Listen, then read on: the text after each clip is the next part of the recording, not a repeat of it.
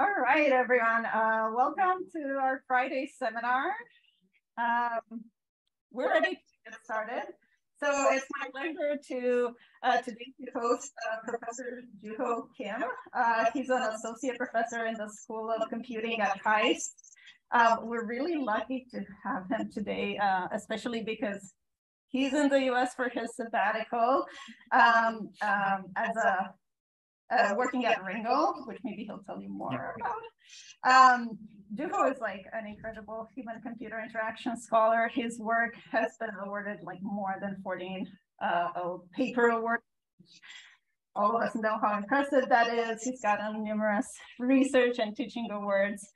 Um, and today he'll talk to us about uh, his work in building intelligent interactive systems, especially related to interaction-centric AI.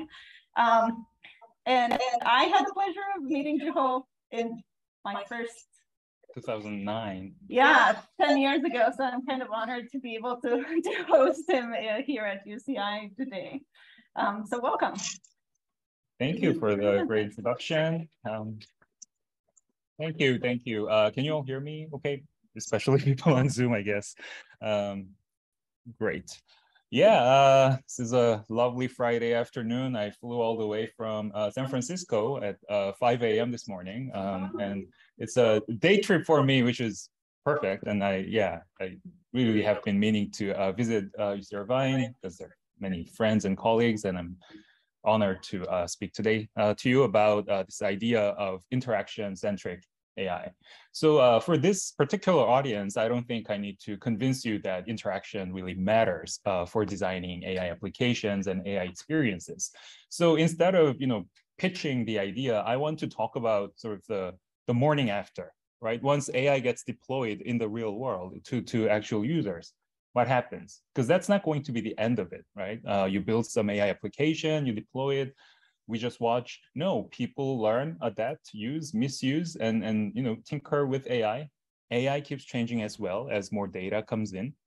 So I want to talk about the various uh, interaction dynamics uh, that might be uh, important uh, for us, uh, people who are understanding, analyzing, and building and designing these uh, systems. And specifically, I want to share some case studies of some of these systems that I've built and deployed over the years especially focusing on what uh, worked as unexpected um, rather than expected uh, and the design lessons uh, from them. Audio is on. Could we mute your audio? Okay. Yeah, that's right. Oh, great. Oh, there was that. All right. So I want to start off with this um, case of um, an operating room.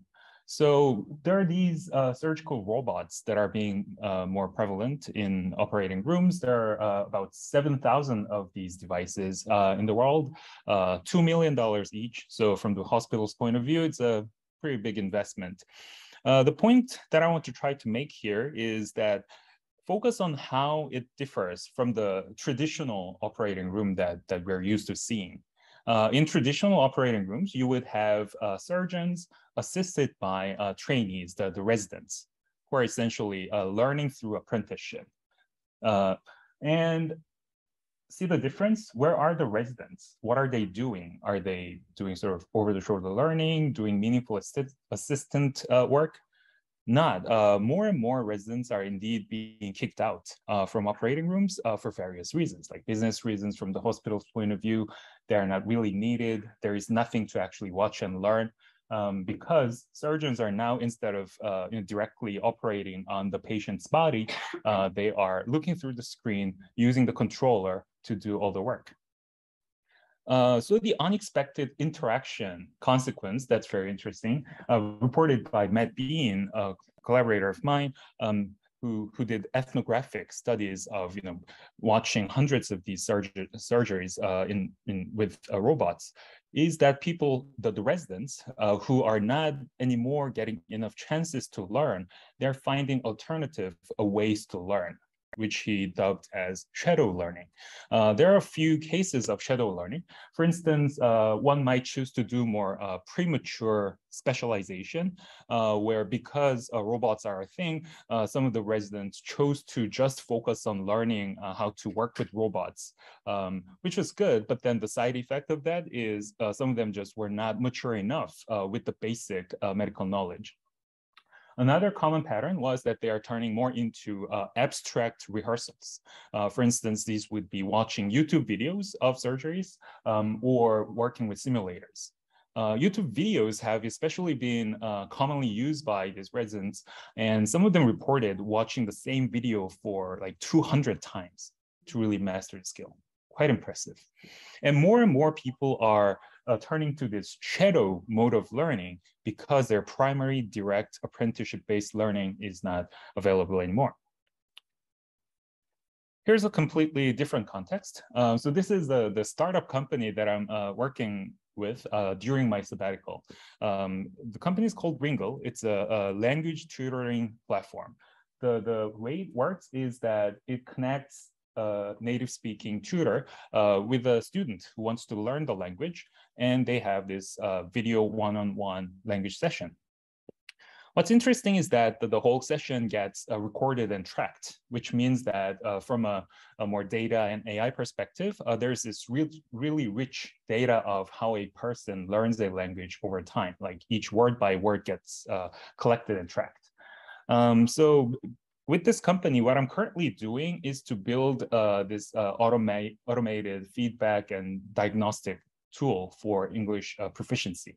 So let's say you uh, do a session and after the session, the system would uh, automatically analyze a script and um, give you a report uh, based on your complexity, fluency, and accuracy of your English proficiency. But the, the, the point that I want to actually get at here is in the process, one of the important pieces of technology is automated speech recognition right? Once you do the video uh, session, it has to be turned into some script in text. Uh, for that, we rely on automated script, uh, speech recognition AI. But then, not surprisingly, the, the word error rate, how accurate the speech recognition is, uh, differs quite dramatically between the tutor's speech and the student's speech. Not surprising, right? Uh, can anyone take a guess as to, uh, on average, uh, you know, what would be the error rate in percentage uh, in the tutor's case? 30%. 30%. 11 was actually 8%. So uh, pretty good, right? Um, but what about the student? The whole point is the student can fluent in whatever language. Correct, correct. yeah, so the question is when someone who's learning the language, um, their speech is fed into AI, how accurate would it be? 88. Okay, that's good. so the answer is 23. Uh, so 8 versus 23. It's a, uh, um, I don't know what your interpretation would be, uh, but from someone who wants to build useful diagnostic tool with it, almost a quarter of speech is incorrectly labeled, right? Uh, with this, can we build a reliable diagnostic tool? Um, and also there's a huge uh, sort of uh, variance among uh, the, the, the, groups here, right? Even within the tutors, there's someone with as low as six to um, all the way to 15. For students, someone even has 36% of error rate, uh, which makes it almost impossible to uh, do any meaningful AI work on top of it. So here, uh, the point is, the, the point that I think is worth mentioning is that people who need AI the most, like students who are struggling with the language, are actually disproportionately not getting the chance to be getting that support from the AI because AI even struggles to get the diagnostic uh, work to uh, start. Um, so this, is an interesting sort of uh, real life, um, you know, anecdote that I'm getting um, as I work uh, with this company. So all these two cases, uh, I think, are quite interesting in in the in the way that they are not the the most immediate thing that you you think of when you think about applying technology and AI to a particular setting like education. Um, but then these are the interesting uh, interaction dynamics that we see uh, from these cases. So there's lots of AI technologies these days. There are lots of users who potentially want to use uh, AI in their uh, contexts. Um, so it's almost like you know mixing this technology with users and their needs.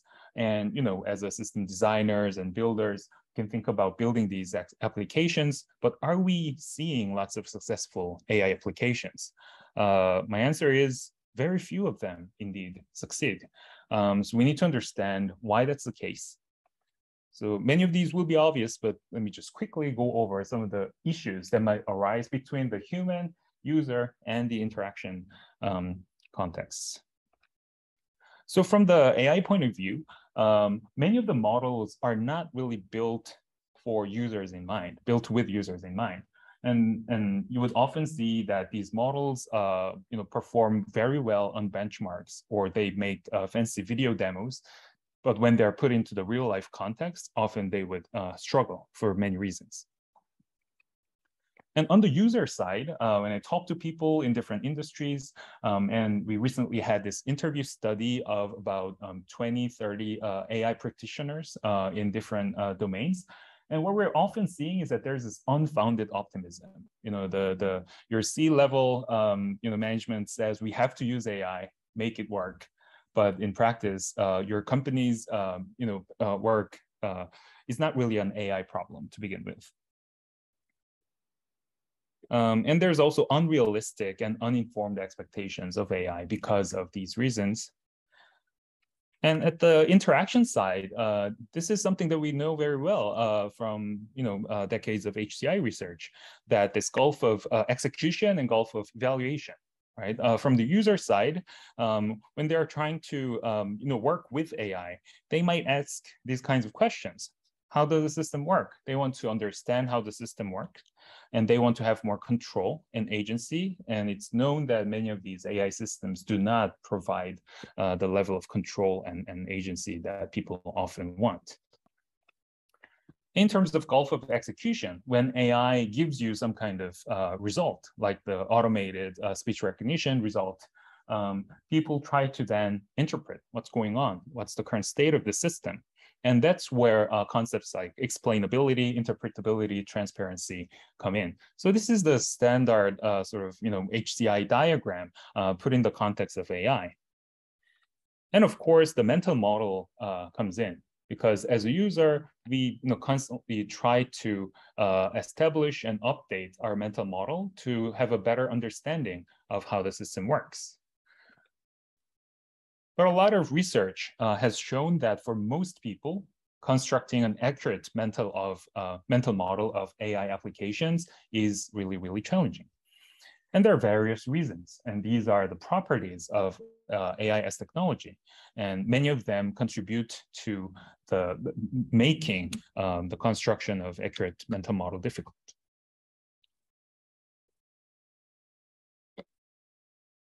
And this uh, really you know, famous paper by now, um, Saleema's uh, paper on guidelines for human AI interaction uh, has articulated that uh, it's a rare, rather uh, unique design challenge in the sense that uh, applying usability guidelines that we know of to AI applications would often fail because of these characteristics of AI technology, right? System might be inconsistent when we always say, you know, consistent feedback from the system really matters.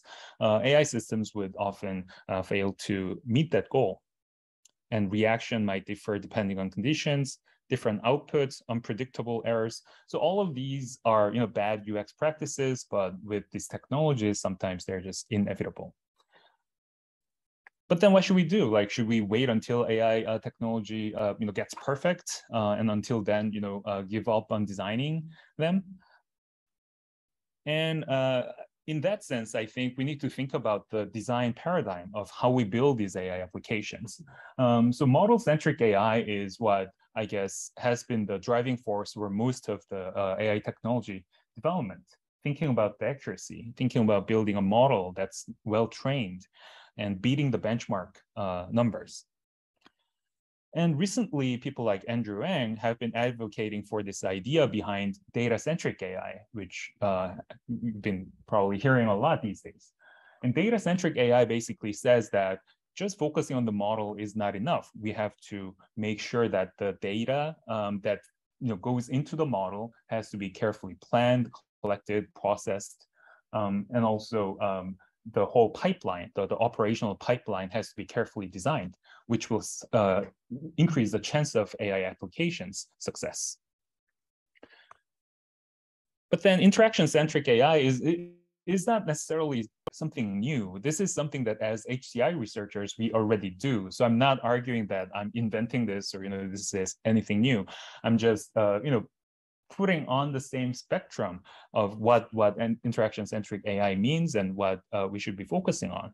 Um, here, I guess the important uh, part is that uh, it's about uh, designing the interaction in the complex real world context, like thinking about these unexpected consequences of AI and how users uh, perceive and, uh, and react to the system. So um, here's my sort of definition of uh, interaction-centric AI. So this is hopefully the, the takeaway um, uh, slide uh, if you forget everything from this talk. Uh, it's an approach to systematically designing and engineering human AI interaction that overcomes the limitations of the model and data-centric views. And of course, this is something we have been doing uh, for a long time, but I think as a field, we can try to move forward to making this into more systematic you know, frameworks and design processes that are specifically uh, well catered to uh, AI applications. And of course, as HCI researchers, uh, there are different ways we can contribute to this. And you know, many of you probably fall into some bucket here in terms of the, the research contributions that you're making with your research. Um, and in my own research, I uh, tend to focus a lot on system building. Um, and system building often results in these interactive systems that people can actually use. And I personally see myself as using system building as a research methodology uh, to answer the questions that I have about how AI can make a difference and whether it makes a difference. Okay, so enough of the uh, overview and let's uh, dive deeper into more concrete case studies. So today I'm going to talk to you uh, about uh, these three case studies uh, that uh, in my research group we've been uh, building over the years. And they all have some kind of learning component, learning meaning like human learning component, like in online education and chat-based group discussion where you uh, learn to talk with other people. And here, uh, the last example would be styling the web. Um, like as a novice in web programming, uh, can we support them to express their intent in natural language? And maybe the system can help them um, find uh, the changes that they want to make. Um, so instead of focusing on the technical details of how we built the system, uh, I want to focus on after we built the system, what happened? Like did people, uh, you know, perform as expected? Were there any unexpected observations? So I want to, uh, you know, focus on these observations and hopefully that can trigger some interesting conversations. So uh, in the online education domain, uh, I want to talk about this system called Axis. And the problem uh, that we started off is that in, in online, uh, there are lots of problems that we can solve. So let's say if you want to learn math, uh, there are lots of problems that you can find and solve, uh, but quality explanations are scarce, right? You get the correct answers easily, but why the answer is correct uh, is often very expensive to generate because you know expert time is uh, limited and quality uh, insurance is difficult. So we built this interface where uh, as a learner, you see this kind of problem, a probability here, and you can type in the answer. It's very straightforward, right? And then the system gives you some kind of explanation. Again, very straightforward. But then interestingly, the system asks how helpful the explanation that you're seeing was. So the learner can answer this question. And then they are given a chance to self-explain um, on their own, right? Give provide their own version of explanation, which is known to be an effective technique uh, from uh, you know uh, education uh, literature. So it's uh, a simple way of sort of uh, providing that opportunity to learners. So that's the, the, the, interface fairly standard, right? The people are just uh, solving the problem, getting the explanation, getting a chance to self-explain. Um, what's happening underneath is sort of the interesting part. Um, so what happens is that the system keeps collecting new explanations for that problem, right? As more and more people are solving solving the problem, because we're talking about an online context where hundreds and thousands of people might be solving the same problem. And this makes it a reinforcement learning formulation for those of you are, uh, who are familiar with it. But the, the main takeaway uh, from this, if you don't focus on the technology, is that the system has a problem of having many possible explanations and have the challenge of picking which explanation to show to the next learner who's coming into the system. So you might be wondering, why don't you just use the, the instructor's uh, explanation? But we've showed that that's always not the case. Uh, there may be better explanations from the learners. So what happens here is that just a, a, quick overview is when a new explanation comes in, it keeps track of all the ratings that it's collected um, so far. And when something new comes in, it gets the new rating and the policy gets updated, meaning with what probability we want to pick this and show to the next learner. And the, the reason we do it in a rather complex manner rather than, let's say, simple sorting is that as new explanations come in, we want to give them a fair chance to be exposed to some people to get a get a rating um, so that these new ones, if they are good, they will get more chances. So the idea is that ones that are highly rated get more chances to be exposed to more learners because that's that's what we want to do as a, as a good system. So the rest is just you know, keep repeating this uh, as more people come in. So with this, the main um, result is that it was actually quite successful in helping people learn. So what happened was that people are getting the explanation that's generated by our system of the Axis. And we compare that against showing the instructor generated explanation versus no explanation. And you can see that the learning gain, the score gain before and after um, was with no explanation, they still learned something. About 3% of uh, learning increase was observed. Um, and when you are seeing the learn uh, instructor's example, you get like nine points higher. Interestingly, with Axis, it's slightly higher, although significant um, statistical significant significance was not observed. But this means that in certain cases, um, learner's explanation actually beat uh, the instructor's explanation. And the point here is that it's a it's a learner sourcing system in that uh, we ask learners uh, to do what they're good at or they're what they're expected to do, which is to solve the problem and provide explanation and rates explanations. These are all quite natural activities that they would do as a learner.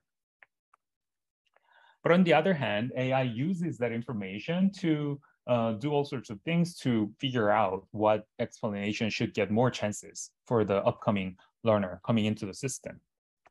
And overall, what we get is better quality explanation and ultimately better learning. So this was the system that we built, and now more to the lessons, design lessons part. Um, one interesting point here is that it was sort of an, uh, a case of how users and the system can learn at the same time. So if you think about it, uh, like most educational uh, technology focuses on helping people learn, or most of the machine learning systems focus on helping machines learn with more data and feedback.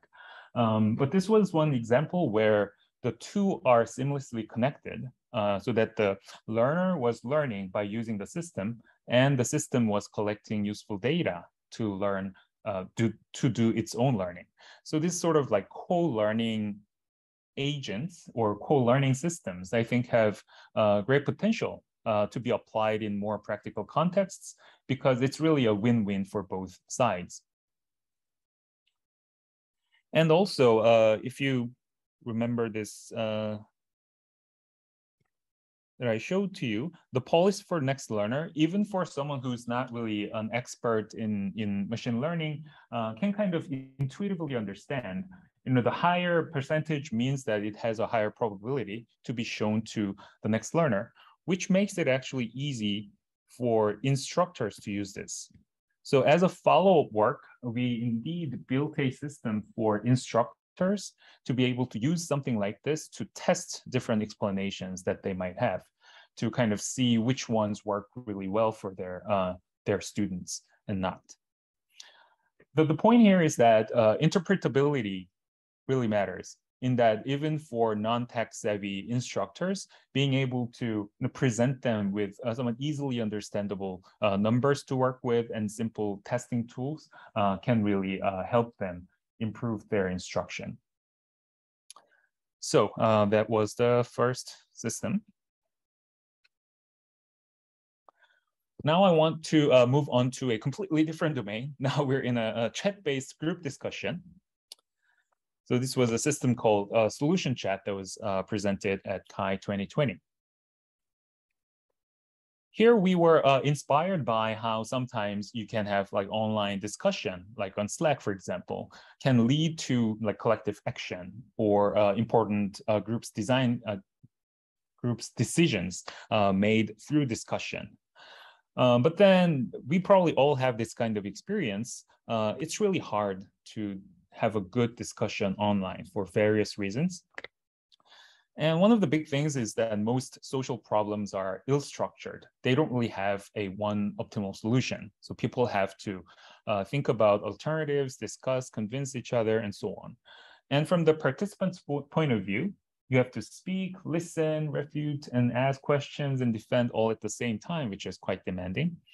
And when you have moderators uh, in the discussion, they often suffer from this very high cognitive overhead in managing the discussion.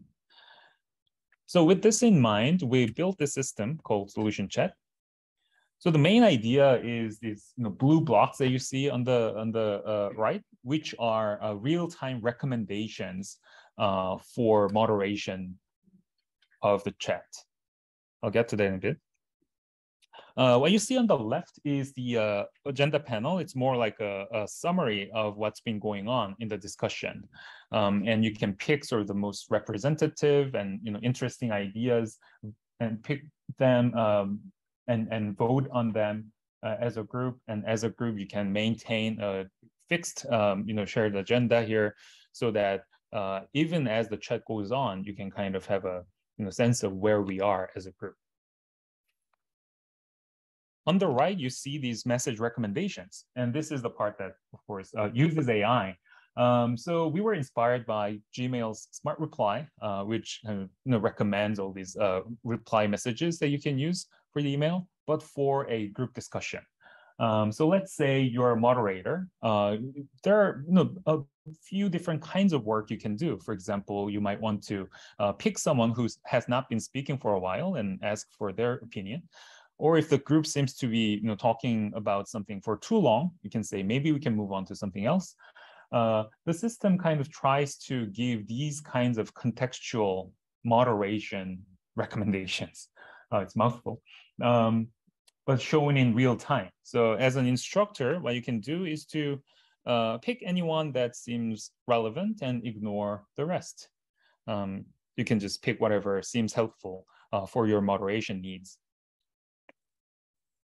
So with this system, we wanted to see if this actually helps uh, moderators better manage their discussion and overall, uh, does it help um, the overall discussion dynamics and quality?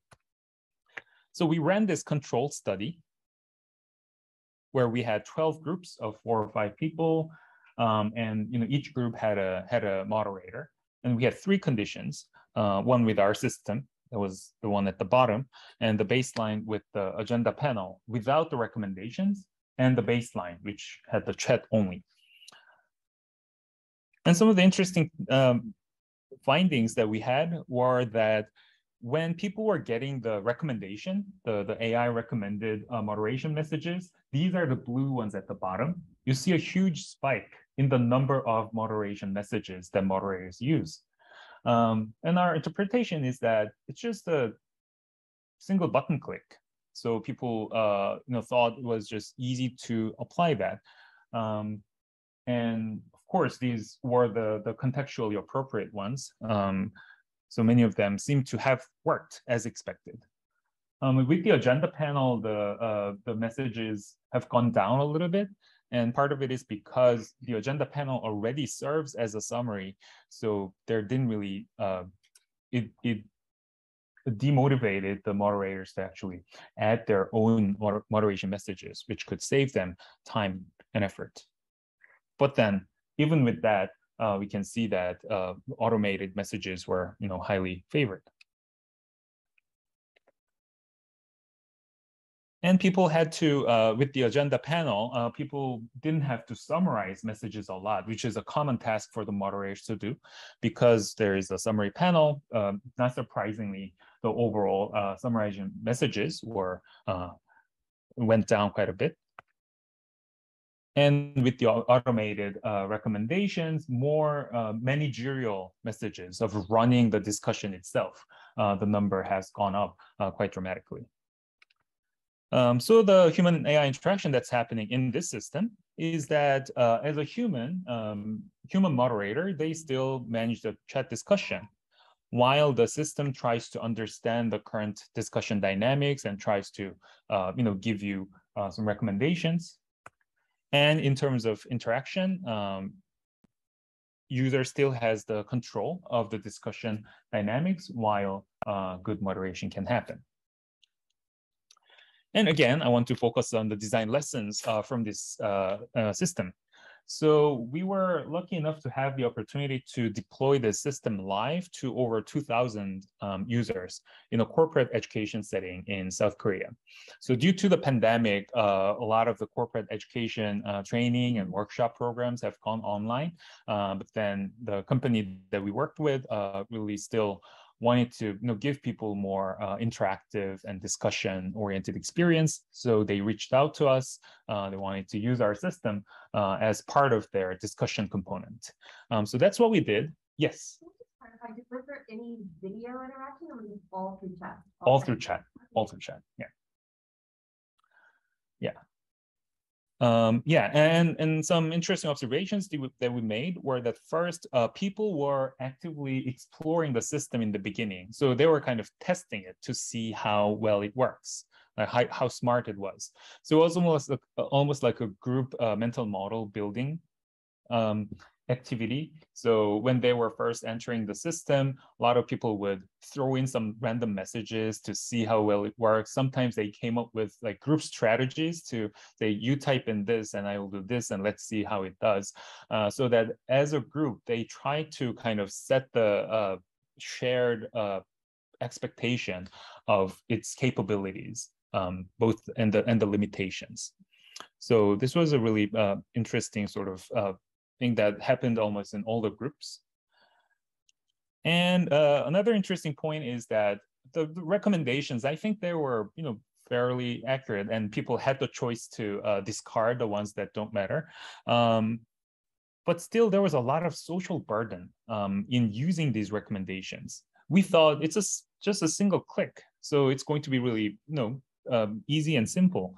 But then it wasn't as straightforward.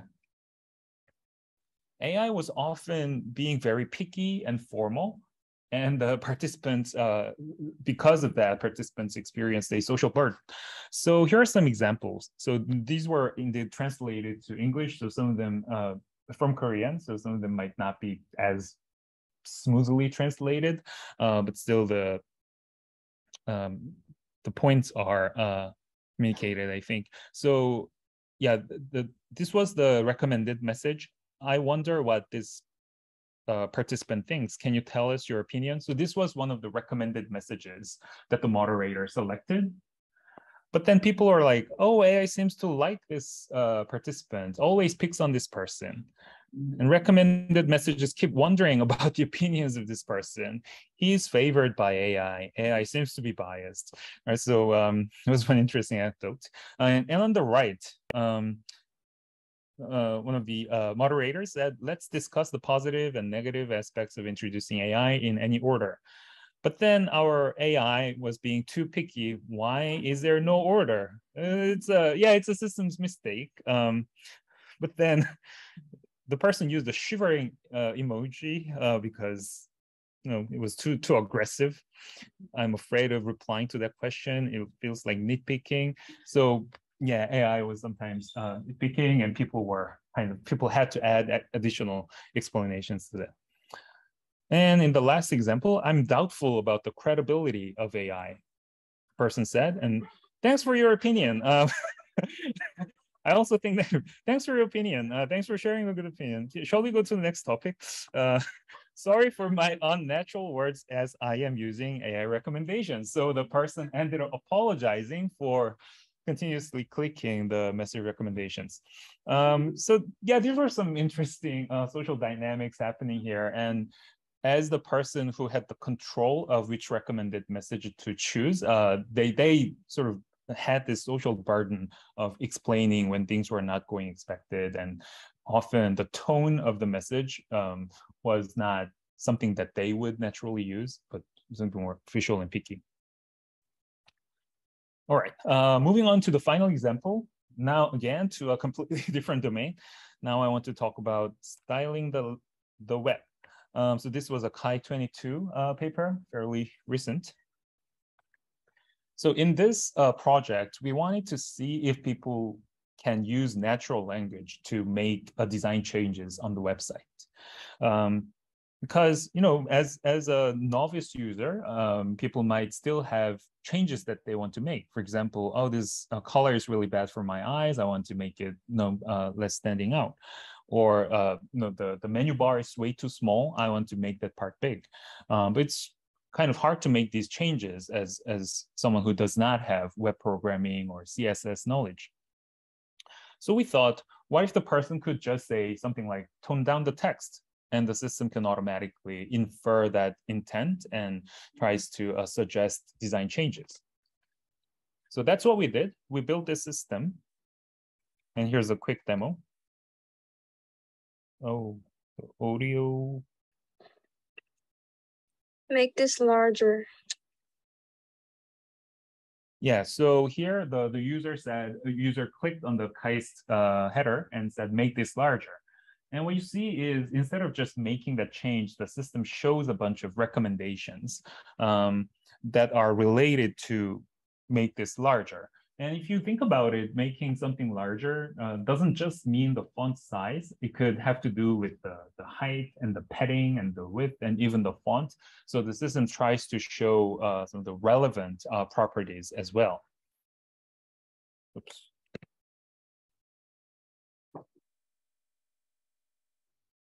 Yeah, and, and the person can navigate through the recommendations and emphasize this part. And emphasize this part again, is fairly vague. Uh, the system tries to find things that are related to emphasis, like changing the font family, size, font style, font weight.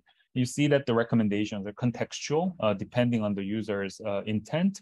Uh, what you get shown is different.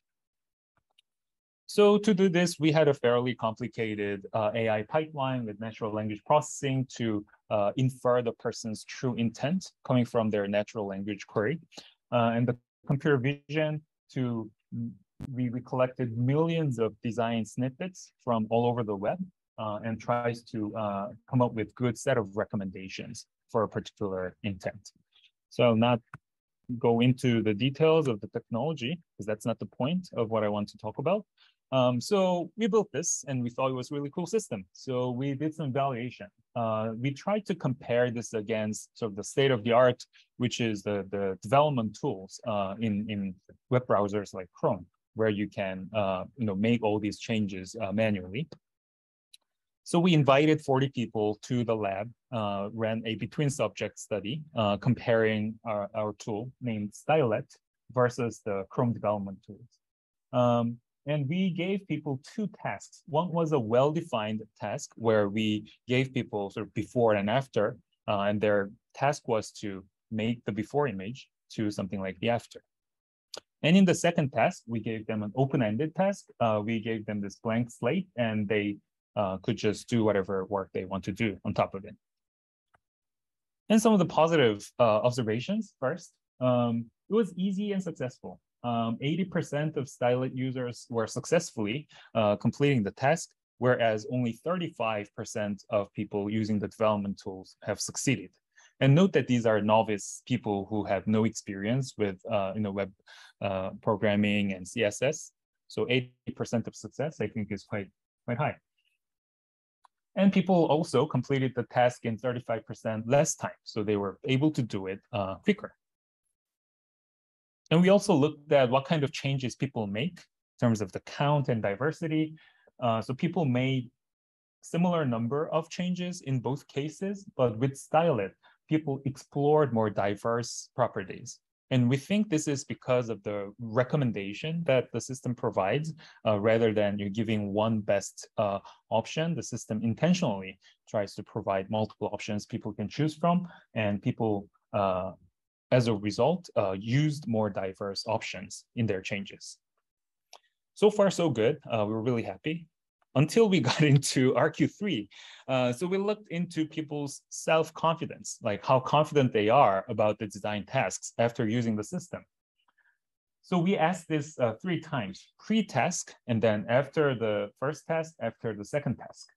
So initially there was an increase of self-confidence in both conditions, meaning uh, when you use the system for the first time, you accomplished something, people's self-confidence increased, which is good.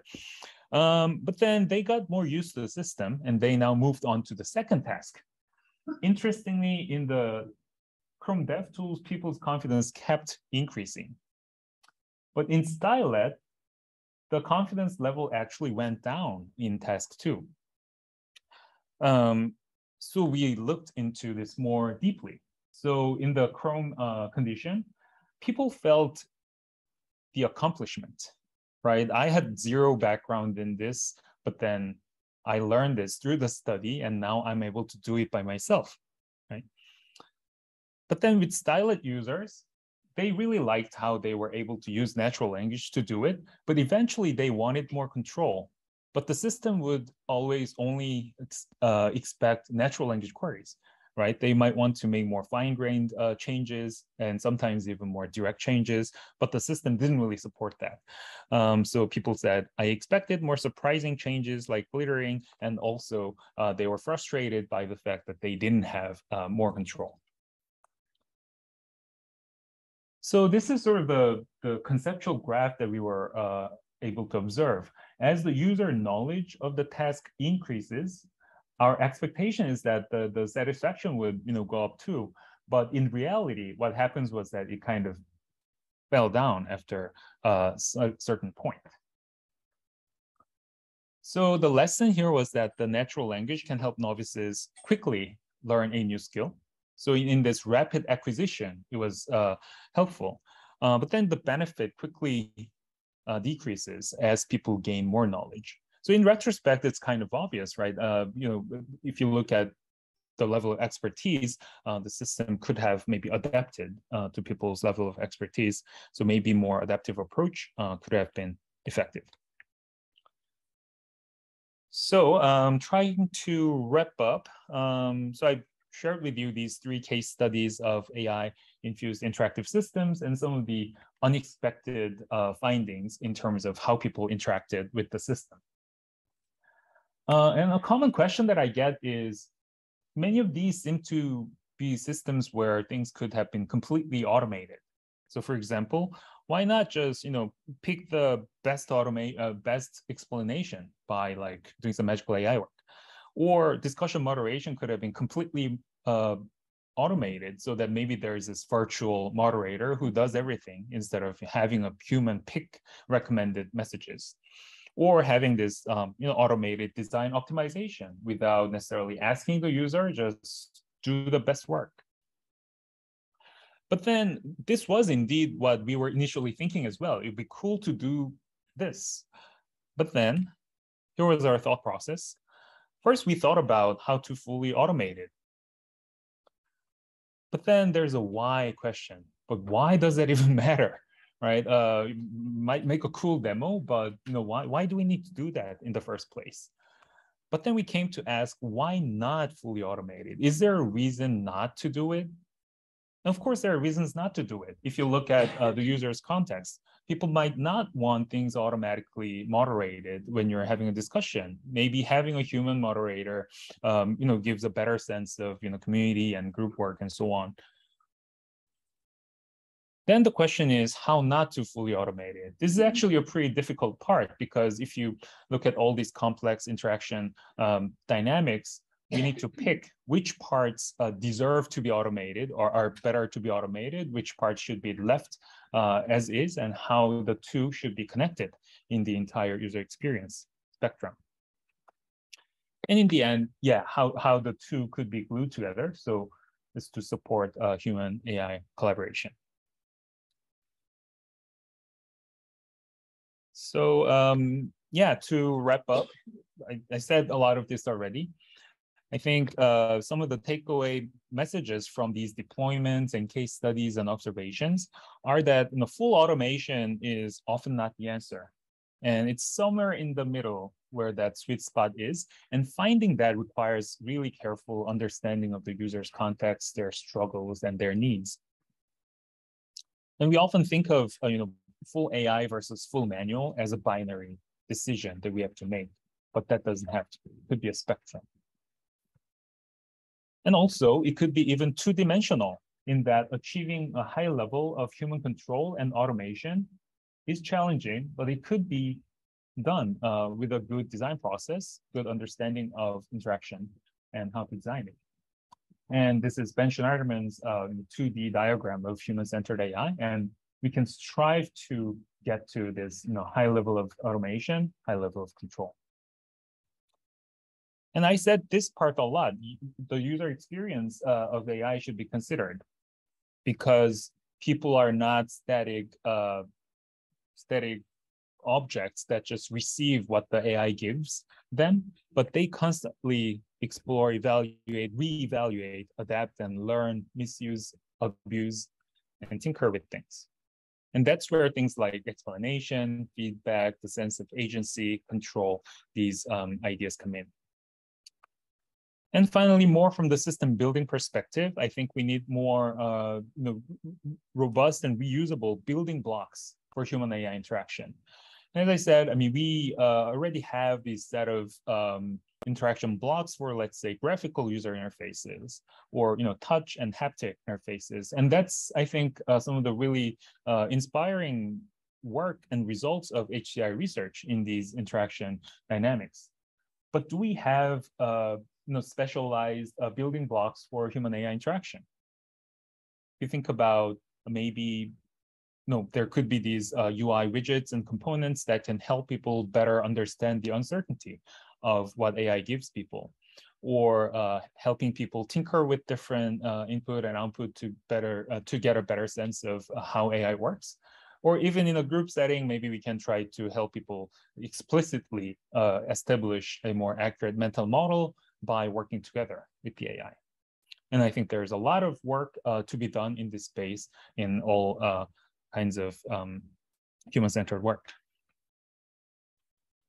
So uh, yeah, I don't plan to read this out loud. I'll just uh, leave it uh, here. This is just summary of my uh, message today, and I'll end it here. Thank you so much.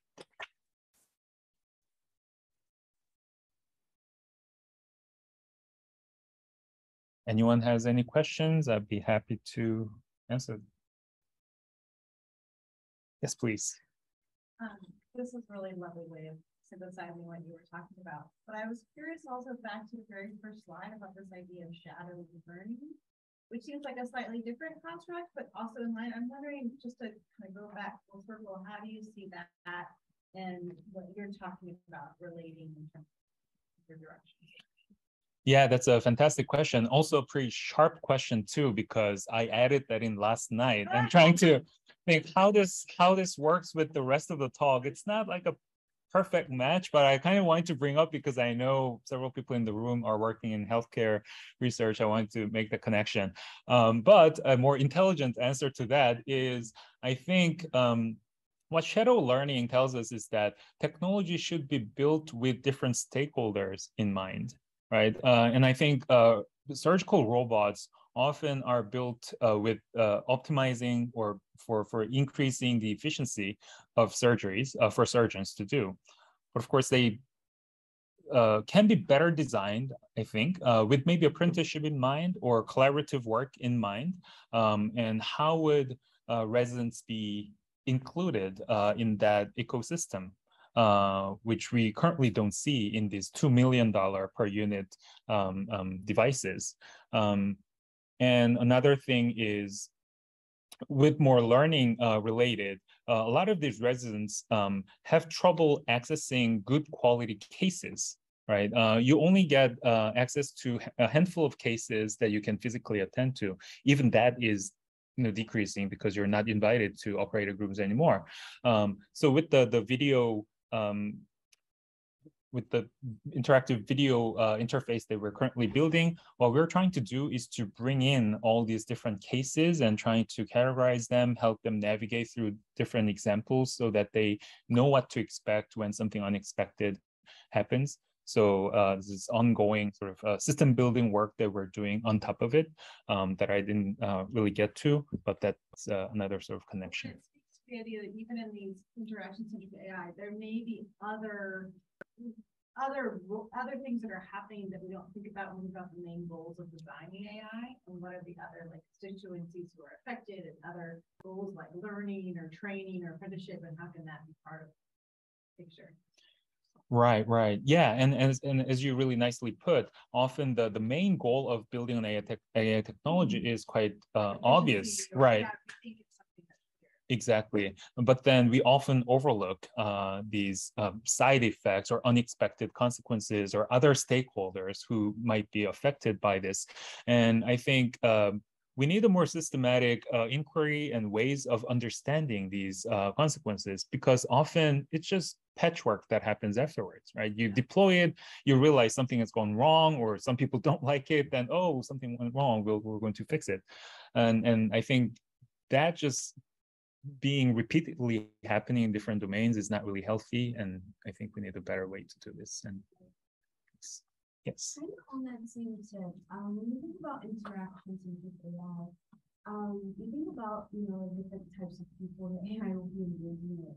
So what are your thoughts on accessibility as far like in this design process? Like how do you um, see it hindering or helping people with various the various people in Right, right. Yeah, a fantastic question. And I, I, know there are, you know, researchers looking into this in particular, although I'm not, you know, an expert on the domain um, domain itself. Um, but I, one way I, I envision the, the whole sort of AI development is that there could be uh, research that raises a ceiling and there could be research that raises the floor.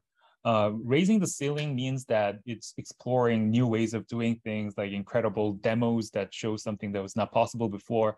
And a lot of this work gets all the highlight and, and the spotlight of media and people and resource and funding and everything because that's the fancy part of AI.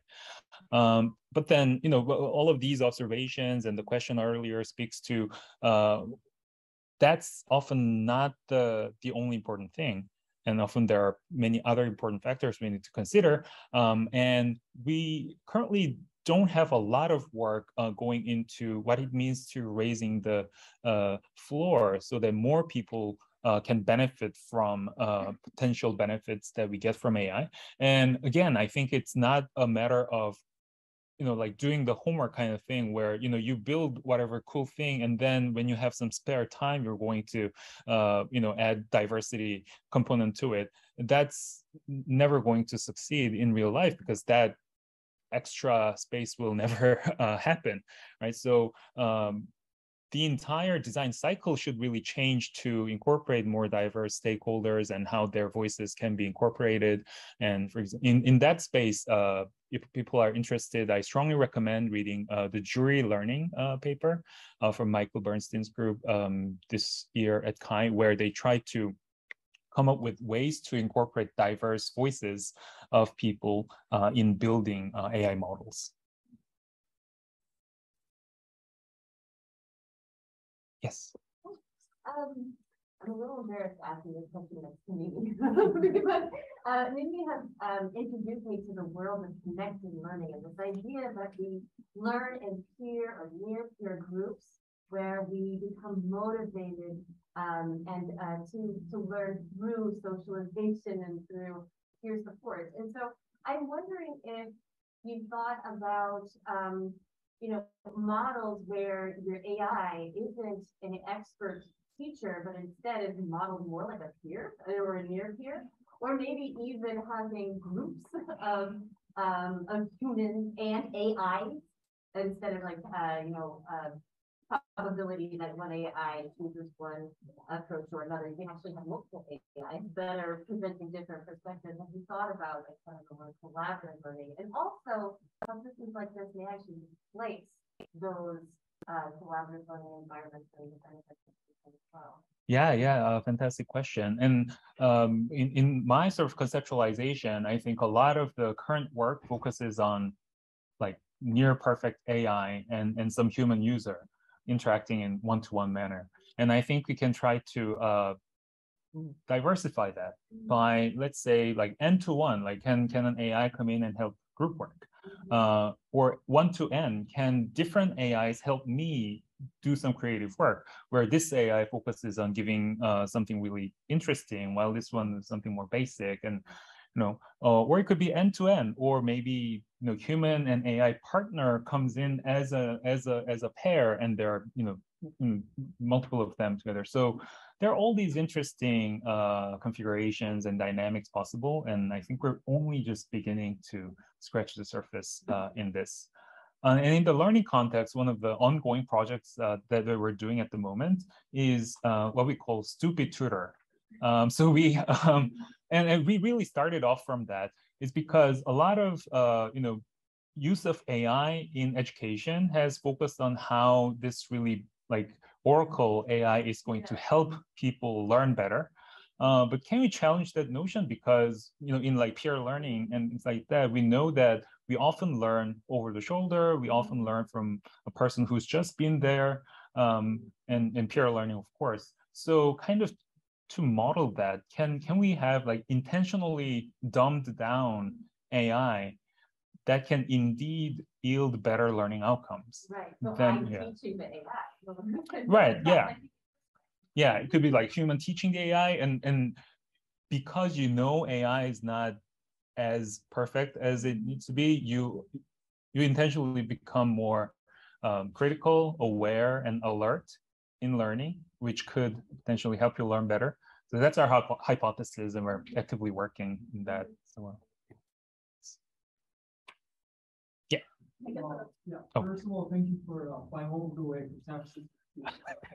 It's a little bit embarrassing. if it was like Seoul, I would have been more proud. But like one hour flight was really, really tiring. Let me take it through. No, Anyway, my question was more related to the multi-armed bandits algorithm talked about for the first um study. So my question was about fairness. Um, so I was starting to think about how learners who are offered explanations at earlier stage will not have enough number of explanations that have a compiled at that point. So wondering, for those earlier learners, it might be unfair for them because they don't have a wide array of explanations to be offered in the first place compared to learners who will have a wider range of options offered later on. So I was wondering if um, if that also taken into consideration or if that any thoughts. Right. Yeah. Fantastic question. So uh, there was indeed uh, some of the concerns that the instructors have raised uh, when looking at this kind of system is that uh, instructors care a lot about equity uh, and the, the opportunities that students get from this kind of technology. And you know they buy into the idea that over time it's going to give really high quality explanations to more learners. But until we get to that point, there's this uh, cold start problem, right? When there is not enough um, people might have to suffer from having this suboptimal experience. Um, so this you know, technical approach itself does not address that, to be honest. Um, but with uh, instructors, what we discovered is that instructors wanted to use this uh, this kind of system um, by feeding in multiple versions of explanations to begin with. uh, and also adding theirs as the first seed. Um, so that's sort of the real life context that we you, you notice that could be useful. And instructors liked it because they wanted to make sure that at least the basic experience is going to be quite high. Um, and having multiple of them um, can ensure that you know they have some chance to experiment with different ways of explaining things. Um, so it's a still same system, but the way that's used by the instructors can uh, perhaps address that uh, challenge that you mentioned. So we're at time for the talk, but we have food and drinks outside, so stick around to talk to the, the Juho more, and thank you. Thank you. Thanks a lot.